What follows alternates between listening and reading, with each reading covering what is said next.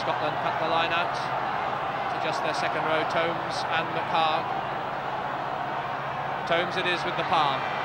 Morgan trying to get in the way quickly. Bigger mishandles, the whistle had gone. But the referee has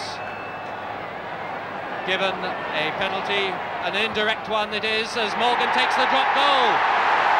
Yes, he's got it. Yes, he has got it.